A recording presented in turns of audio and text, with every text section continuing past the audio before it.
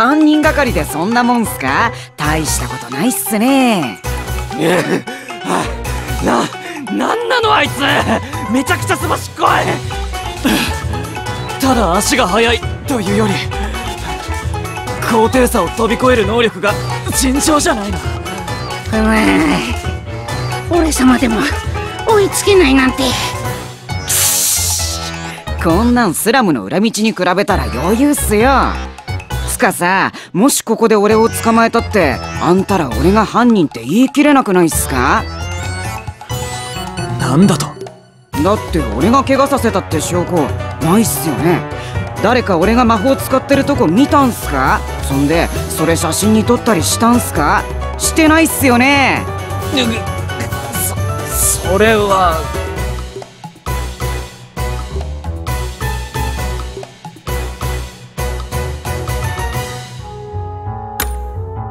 卑怯者？褒め言葉っす次に俺を追い回す時には証拠揃えてから来てくださいっす。まあ君たちじゃ次も無理だろうけど。悔しいんだぞ。じゃ今日の追いかけっこはここまで。ああさっき取ったマジカルペンはここに置いとくっすよ。バイバーイ。くっそー！腹立つローズハート寮長に首をはねられる。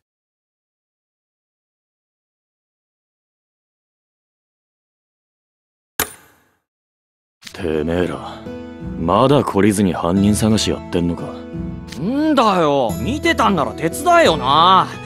オタくんとこの先輩超悪いやつなんですけど。お前らなぜそんなに他人のために必死になれる？他人のため？怪我したダチの敵討とうって気持ちはわからなくもねえが。は？何言ってんの？え？誰が他人のためなんかにやるかっつーの。僕たちはこの事件の犯人を捕まえて手柄を立てたいだけだ。そうそう。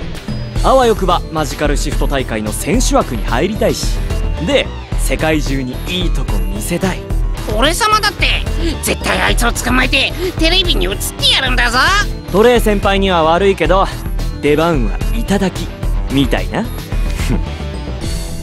他人のために動くような奴は信用ならねえと思ってたがお前ら。思ってたよりひでえ奴らだな。なんだよ。俺らよりお前の方がひでえじゃん。その様子じゃ知ってたんだろ？あいつが事件の犯人だって。あそうか。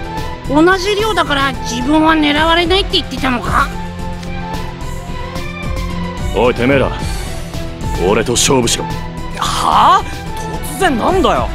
男が腹割って話すんならまずは拳からだろ。てめえらが口だけの輩じゃないと俺に証明できた。俺の知ってる話を教えてやってもいえ俺そういう汗臭いの苦手なんだけど。俺はそういうの嫌いじゃねえぞ。分かりやすくていいじゃねえか。ピュースの悪スイッチが入っちまったんだぞ